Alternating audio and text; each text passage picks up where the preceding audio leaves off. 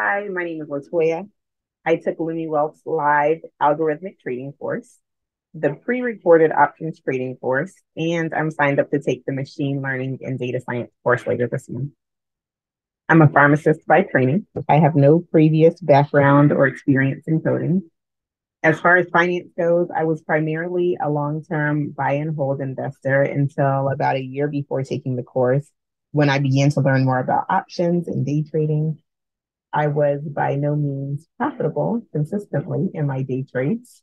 I found that with my full time job, there was limited time for me to get enough chart time to get better at trading since my work hours typically overlapped with market hours for options trading. I started to see advertisements for LumiWealth, and it was really attractive due to the ability to build algorithms to trade without constant input from me and to be able to take some of the emotions out of trading, which was really tanking a lot of my trades. I loved the class.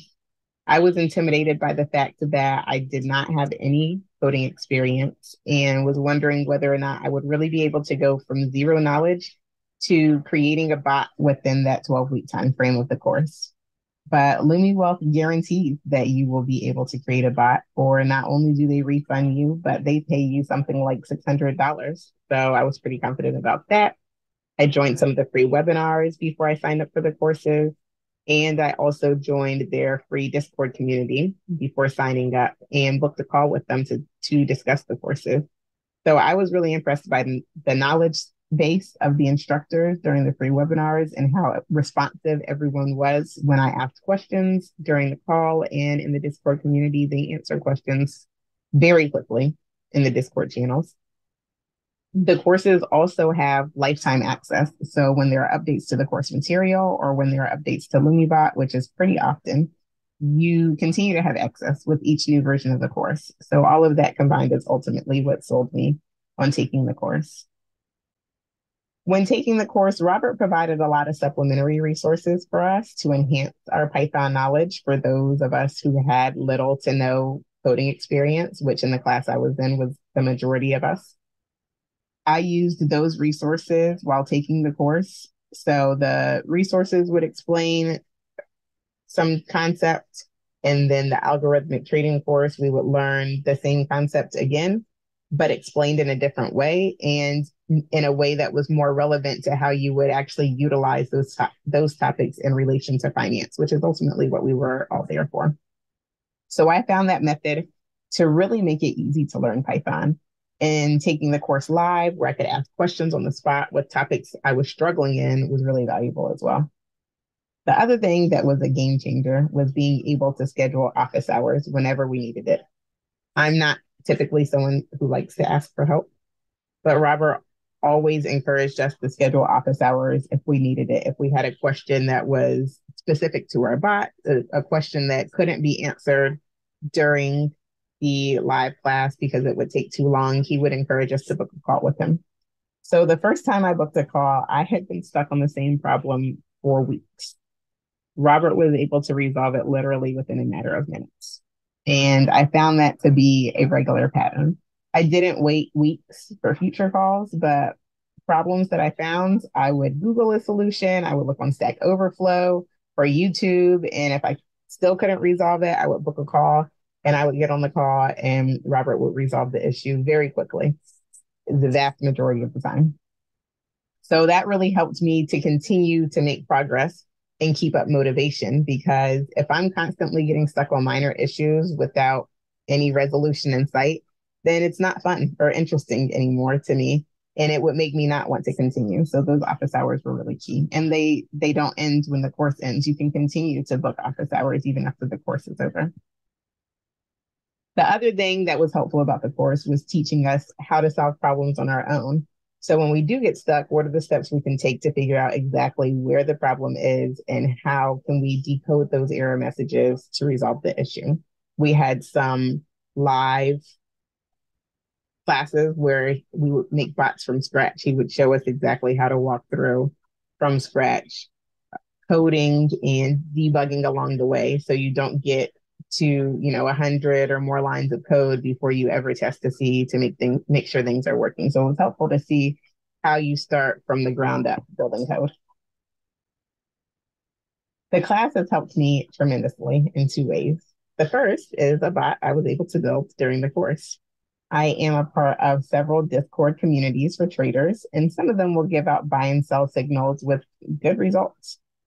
I wanted to be able to take advantage of those buy and sell signals, but you don't ever know when they're going to come in. So when you have a full time job that occurs during normal trading hours, it's not possible to take advantage of those signals the vast majority of the time. And then, even if you can take advantage of getting into a trade, if it's a swing trade, you, you know, when they're intending to get out of the trade, you might be working, you're busy during that time. So it's really hard to consistently um, gain profit off of manually following buy and sell signals. So I created a bot that retrieves those messages from Discord, parses through them to get the relevant content, and then submits the trades accordingly. So I'm going to do a walkthrough of that box. It starts off by importing the relevant libraries. This code runs every second. And then the first function is to sell expiring orders. So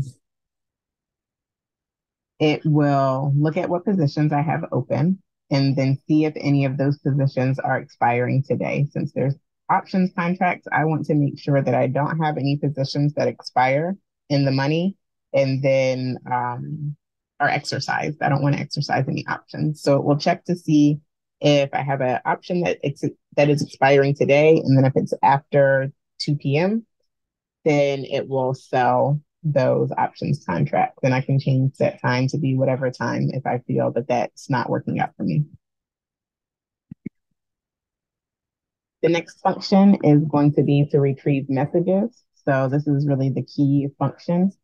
I have a CSV file with NASDAQ stock symbols. Then I have the function to retrieve my messages from Discord. I put it in a data frame. I parse through it to get the relevant information that I need to create an asset uh, for an options contract. So I get the symbol, I get whether it's a call or a put, I get the strike price, I get the expiration date, I get the limit price, and I make sure that it is within a certain time frame. I don't want to get old signals. So for this, I have it, I'm only getting Discord messages from the last five minutes. So all of that is put into um, a data frame. And then I have a create positions data frame.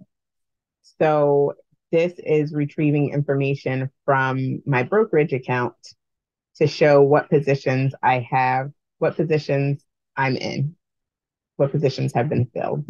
So for those positions, what's the symbol? How many contracts do I own?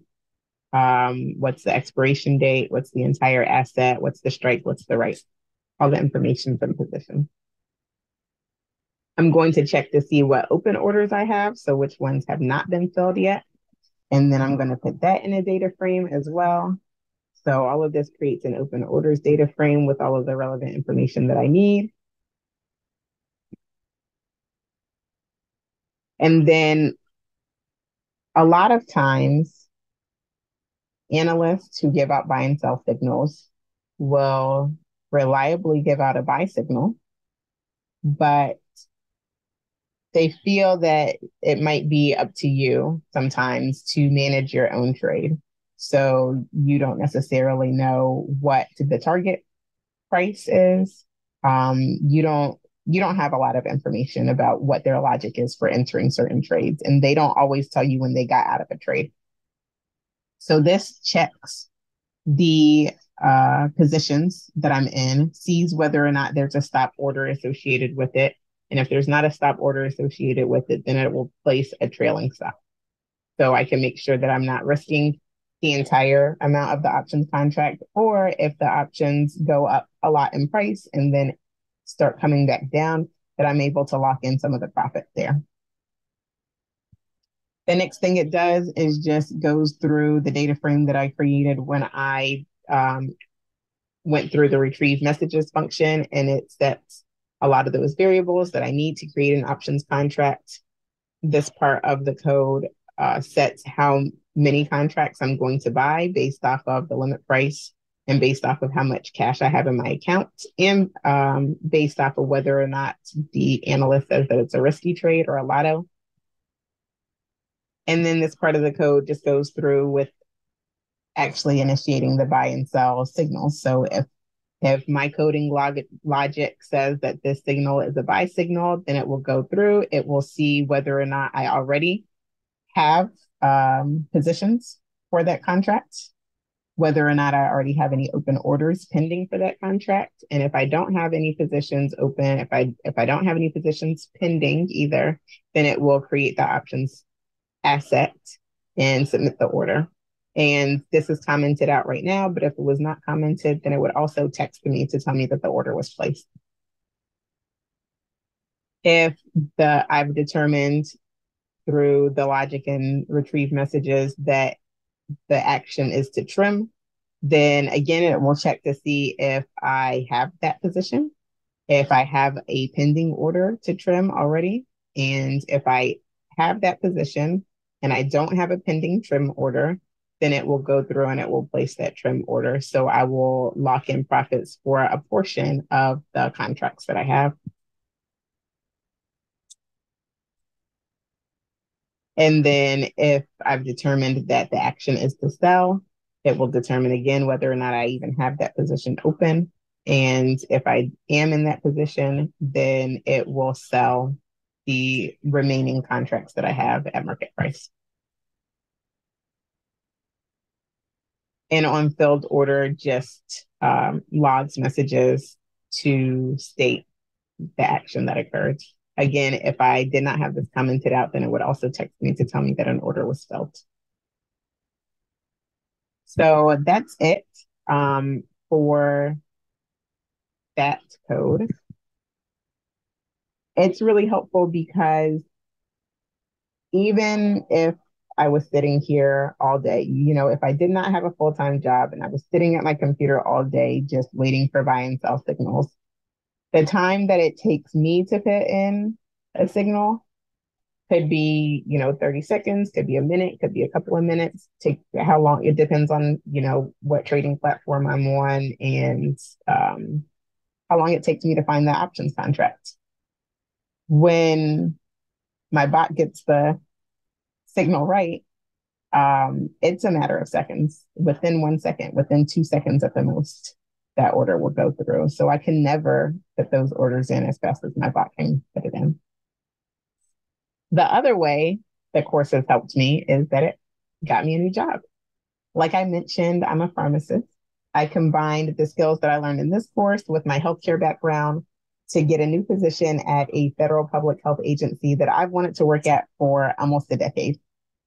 My role there will be utilizing Python and other coding languages to automate tasks for other employees in the office.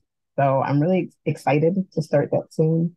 And that never would have happened without taking this course. I primarily told them about my experience in building projects for this course specifically.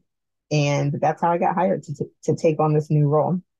So that will only enhance my ability to code with Python and be able to build better bots and be able to improve on the bots that I already have in the future. I would absolutely recommend New classes to others. I already have several times. The knowledge and skills you gain from taking these courses can really set you up for success in a number of different ways.